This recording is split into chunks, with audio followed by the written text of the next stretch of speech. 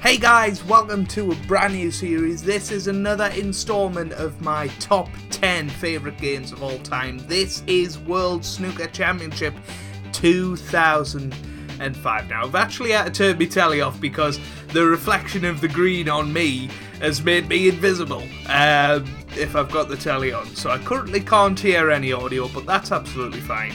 Um, now, the plan for this sort of episode, I guess, is to play one match of the World Championship qualifiers. Obviously, it's the World Snooker Championship starting on Saturday, and I will have a preview video out.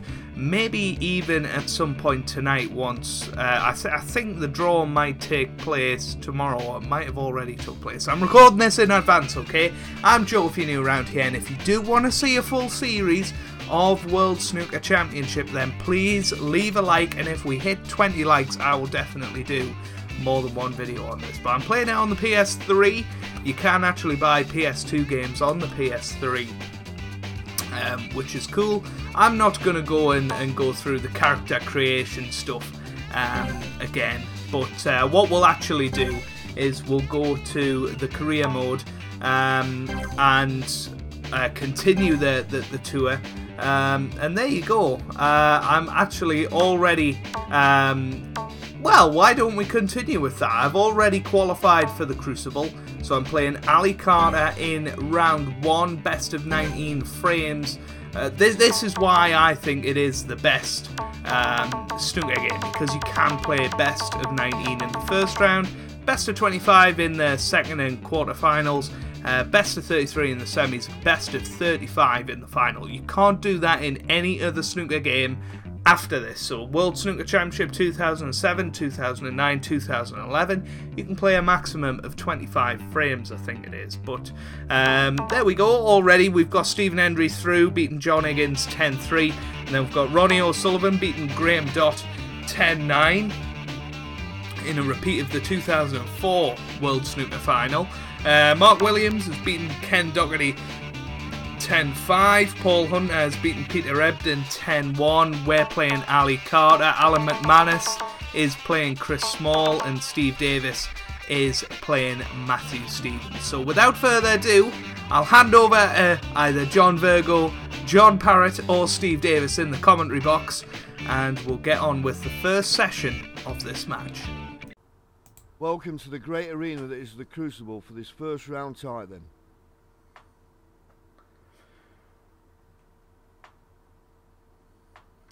So here we go. At the start, you can see. Oh, I, have I've pressed the analog stick.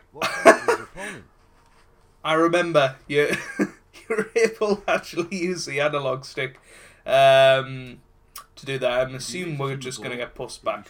Yeah. Uh, but we've got John Virgo and uh, John Parrott in the commentary box. We've got Jan Verhaas um, actually refereeing. This is the Crucible Arena. I actually sat up in that uh, sort of back row, if you can you can see there, um, and watch Ronnie O'Sullivan a few years ago. You can see Ali Carter over there, uh, World Snooker. This is the old set. Um, and we're obviously playing on table two. So yeah, here we go. Um, this is quite a quite a throwback for me, to, to be quite honest with you. Um, I may have forgot how to play this game.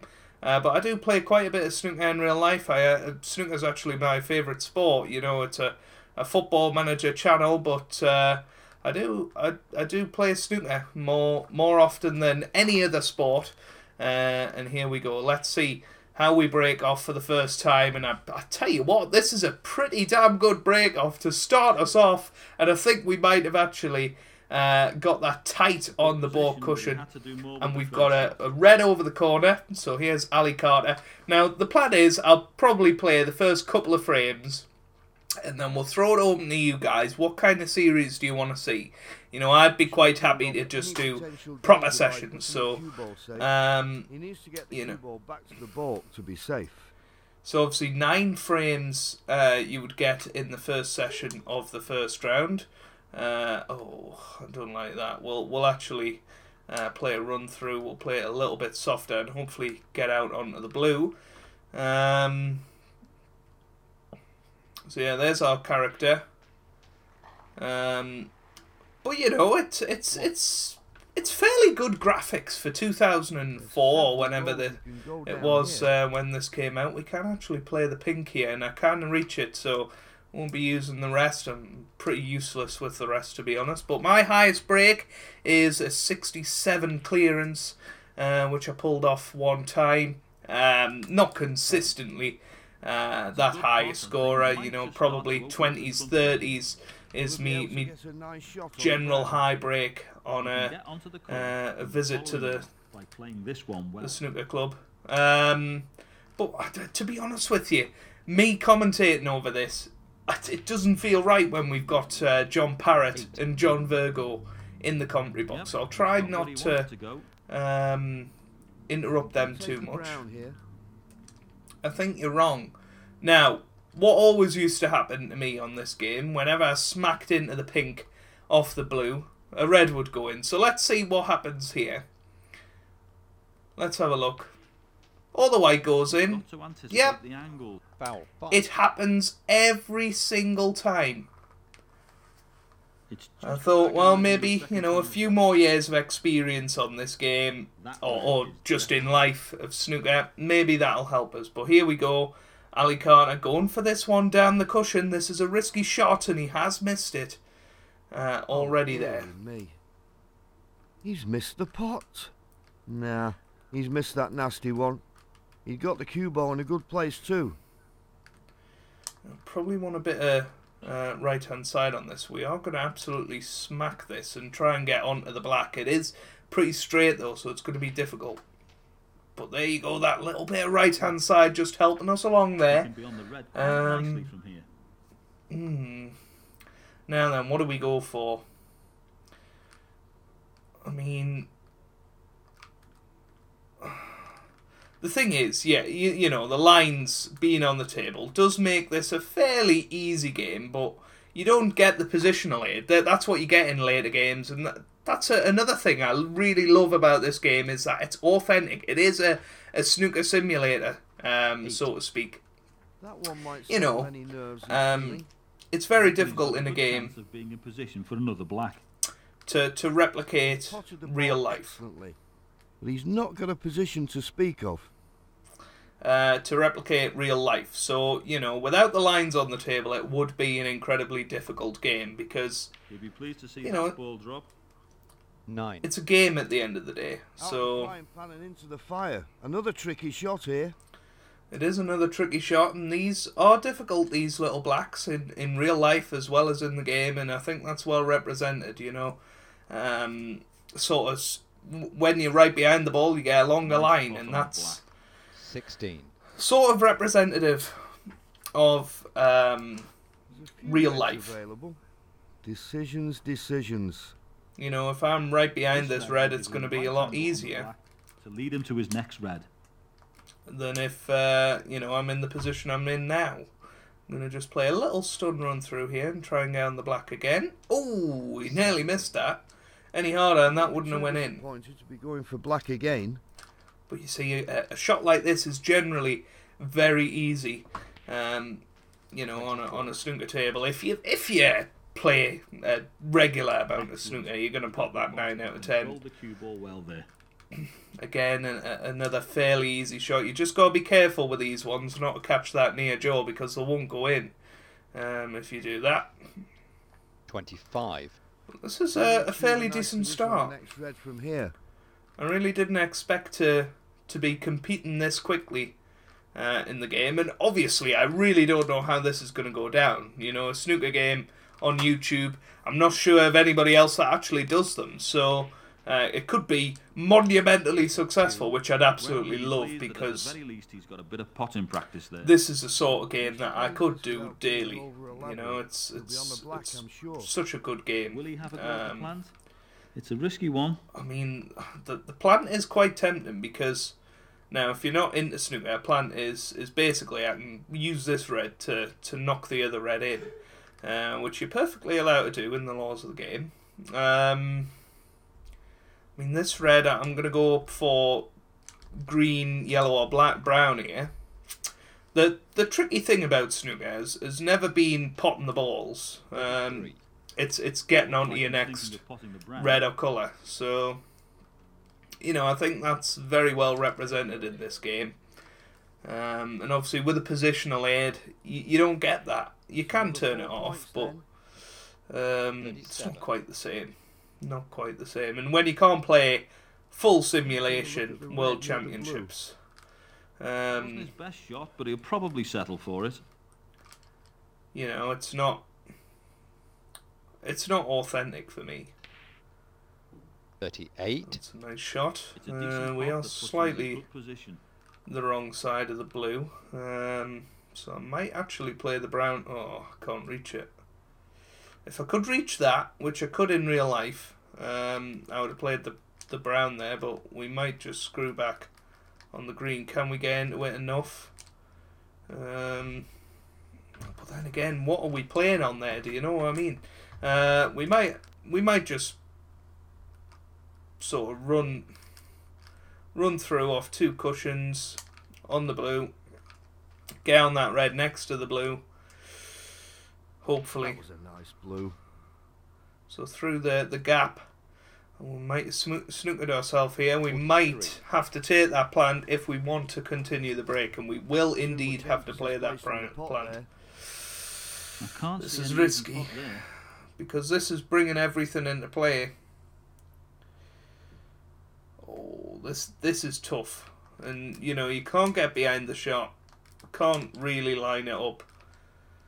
This is tough, but I'm playing it. And there you go, I missed it. And now we've left him in amongst the balls. Of the cue ball there. So we've got a lead of 50, uh, sorry, 42 there. And there's still plenty of reds on the table, so Ali Carter, it's now over to you. And we'll watch him could go wrong. play this. We're, we're almost 10 minutes into the video. Depending on how quick these sort of first two Decide frames go, I might play the first four and then we'll go into the mid session interval and end this episode. Good shot. 9. He'll know he might be running out of chance. And these blacks are difficult in real life, certainly missable, but on the game, probably wouldn't expect him to miss it. And he's brought everything into play now. The only tricky shot you would say is What maybe the pink, but I don't think this he'll need it. Good shot into the middle there. 17. He's controlled the cue ball now. Mm, I'd be playing the blue here, but he's obviously not feeling Twenty. too confident yet, leaving himself mid-range shots. Any of these could be missed. He might well get a lovely shot at the black from here. They are difficult games because you do generally get punished, and I think You that's just come out enough for the, the, the black there. Well, he'll be pleased that at the very Nice least. he's got a delicate little shot. 28.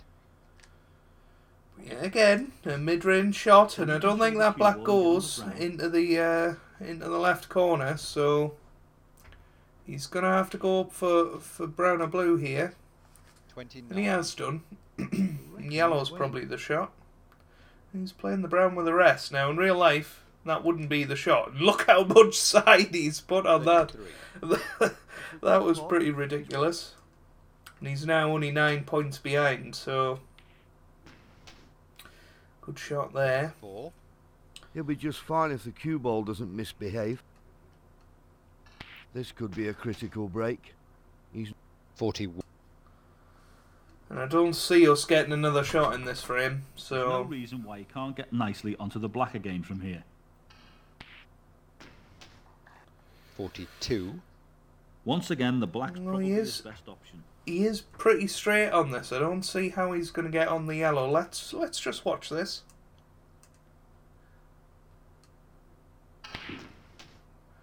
Well, lots of screw back, and that's a fabulous shot from uh, Ali Carter I get there. feeling this one's going to the death. It's He's now pot. seven points ahead. 27 available. He needs yellow, green, brown, and blue to go 1 0 up. 51. Crowd are clapping him because he's got a 50 break. 54. Yeah, I, I, as I say, I think he is going to clean up here, which, you know, I said that plant was risky and we were leaving him in amongst problems it. And brown oh, as a white, oh,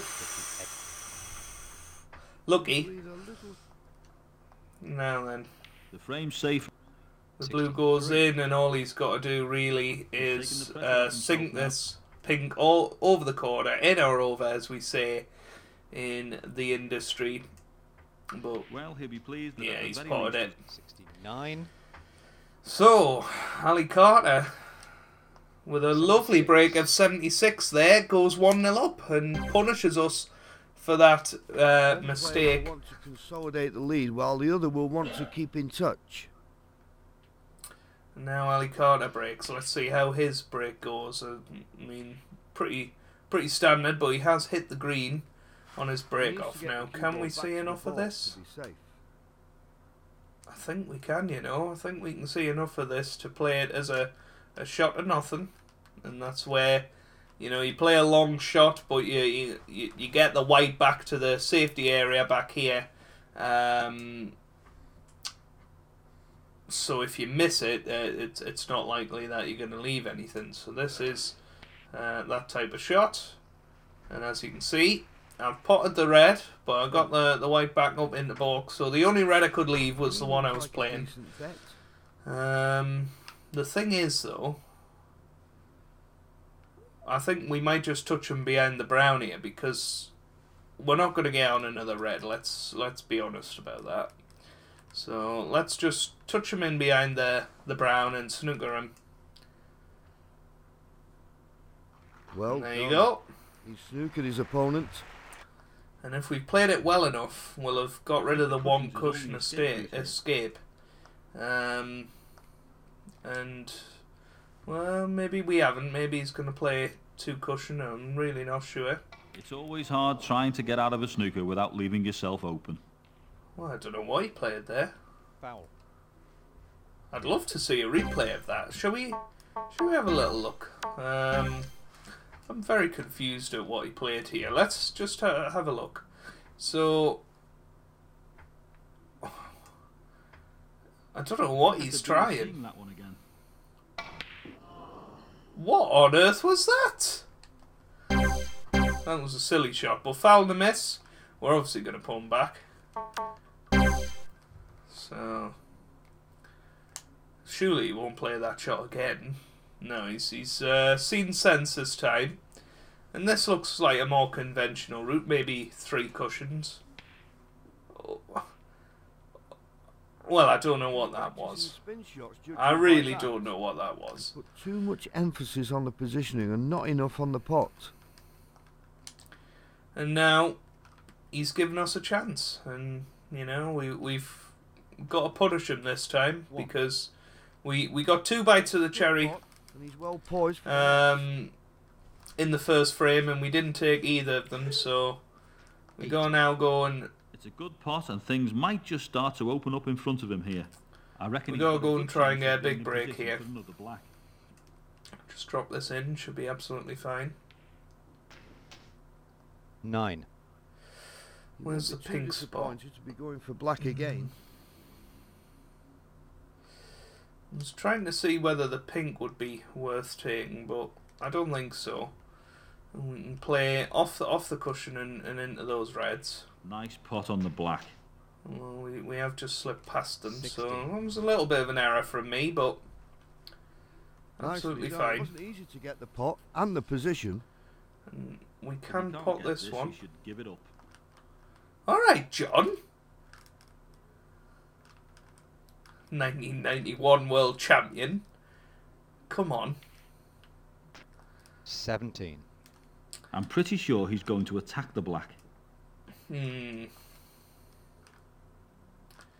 Now then, can we? I think we we can probably screw this in behind the red and and out out again. Oh, we've just kissed the red, but luckily we had the other Screw one. Back on the ball there. Now then, cue ball nicely there. if I want to be showboaty and go for the one, yeah. one four seven maximum, which I do, I'm gonna play this red here. Now, it is a bit harder and we might well miss this. But we're gonna try it. Good shot. Oh, oof, it's just shot, pulled up. Probably settle for it. It's just pulled up, and we are on this this black now. It's amazing muscle memory. How I, I I just remember all the controls for this. Goodness me, 32. The white ran away from us there. I reckon he's got a good chance of being in position for another black. This red should give him the requisite angle for the black, which in turn will leave him on the Requisite. It's a big word. 33. Good shot, but Praying he can this will be five reds and five blacks. If we want a one four seven, it'll have to be fifteen reds and technically sixteen blacks once you've cleared the colours. But uh, we're, we're we're virtually a third of the way there. But that is end of break. What a terrible shot! The ball excellently, but he's not got a position That- to speak I of. mean, I'm I'm tempted he's by this. Some work there. And, you know, real life going for the one four seven, I would probably go for this as well. Mm. But then, do we play the double? Hmm.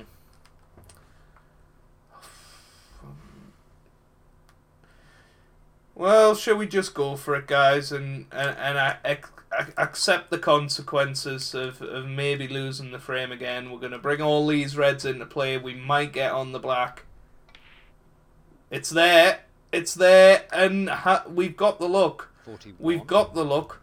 We're on the we're on the uh, the black, and we've got the angle to go into those four reds. I can't believe we didn't move them at all with this. But let's have a look at it will Give us an insight. from the, the sort of TV cam. And there you go. The, but that red has gone up be long before he'll be trying to towards bring a few red um, the side cushion, which means it's going to be difficult to, to get later on. Um, now then, a one four seven on this game. I'm pretty sure I- I only ever did it once, so it would be pretty amazing to do it on my second frame It's a back. decent break that. Lots of reds on the side cushion. Uh, actually, we can't get the 147. I'm a complete and utter idiot. We can't get the 147. I potted a red. Um, I potted the shot to nothing, didn't I? You guys think I'm a complete idiot now. And if you if if you're into your studio, you've probably already commented uh, on this, so we might as well go pink um, and just finish off the frame here. Um, I can't believe I've done that. I'm gonna go this red. I know you probably wouldn't in real life. You'd go for the one closest to the cushion, but I think that's oh, we're playing left-handed. That's something I would do in real life. I do like playing left-handed every now and then because I'm I'm not good with the rest, so I'd rather play left-handed than with the rest. So, for example, this shot I'd be playing left-handed. He's picking up points like a vacuum cleaner here. Oh, look, muck that one up. And we can't reach that one. So I'm gonna have to play this this one back into a blind pocket, which is always difficult. Always difficult. And we could well go in off off this pink here. But we've controlled it nicely. He's well in the lead and can relax And a that- little. That is frame ball. Because once this brown goes in, there'll only be 67 more points available. 67.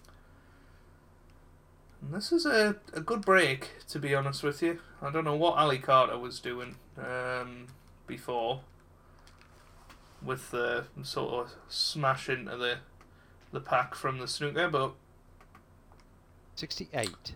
hey yo. I'm playing the green here, probably. Might have missed this. No. 71. And that really puts the, the frame beyond any sort of doubt. So might as well play some more extravagant shots now. And try and screw this back for the blue. There we go. 72. Lovely shot there. We even get a replay for it. I'll sort of drop this in. Bit of a stun run through. And then uh, hopefully get on that red just above the black. 77. Good shot.